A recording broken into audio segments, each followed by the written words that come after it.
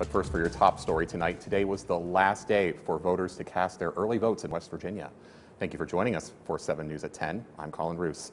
7 News reporter Bailey Martin has voters' final thoughts and advice for anyone heading out to the polls next week on Election Day. It's the final day of early voting here in Ohio County, and eager residents have been excited to get their vote in before the polls open on Tuesday for many reasons. I'm 18, so I got to vote for the first time today, and I was really excited about it. Knowing that I can come here early to vote gives me a more peace and calm situation that I like. Yeah. But it is just a major convenience thing. Um, getting out kind of in the middle of the day can be a little bit tricky. I feel that our democracy is at stake, and I think that every vote counts, and I think participation is the key no matter where you stand. Ohio County Elections Coordinator Tony Cefalo says that participation in early voting has been great. They have seen over 2,700 voters for the entire early voting period and around 200 just in their last day. How does this compare to years past? For an off year election, I think it's better.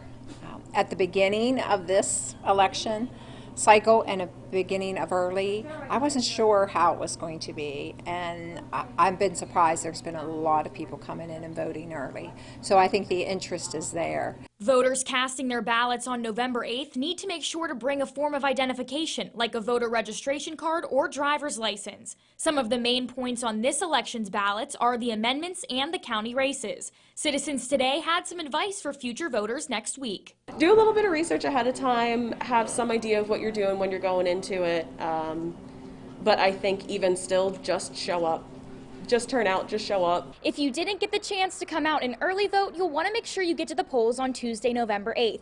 The entire 7 News team will be providing live election coverage that entire evening, so you want to stick with us. Reporting live in Ohio County for 7 News, I'm Bailey Martin working for you.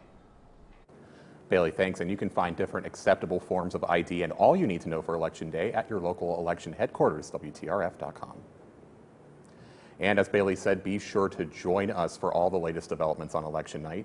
We'll have coverage from all over the Ohio Valley Tuesday, plus state and regional coverage. The 7 News team is prepared to bring you live reports and interviews with winning candidates. And one easy way to get those results, WTRF.com, which will be updated all night long.